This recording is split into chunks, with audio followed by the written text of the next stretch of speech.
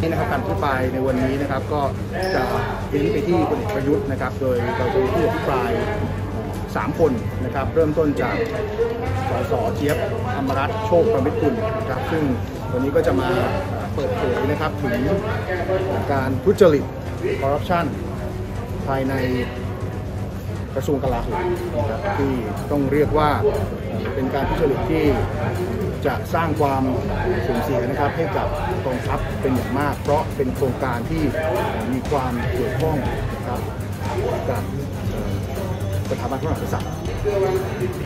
ผู้อภิปรายคนที่สองก็จะเป็นผมเองนะครับที่จะมาอภิปรายเปิดโปงว่ารัฐบาลนี้นะครับเป็นอาชญากร งครามไซเบอร์อย่างไร รัฐบาลนี้ใช้อาวุธสงครามไซเบอร์เล่นงานกับประชาชนอย่างไรนะครับแล้วก็ผู้อภิปรายคนที่3ครับก็คือคุณเบญจาแสงจันทร์นะครับ ซึ่งผมต้องขออุบไว้ก่อนนะครับ ว่าจะอภิปรายเรื่องอะไรนะครับซึ่งแน่นอนก็จะมีเซอร์ไพรส์สำหรับวันนี้นะครับทั้งสามท่านครับ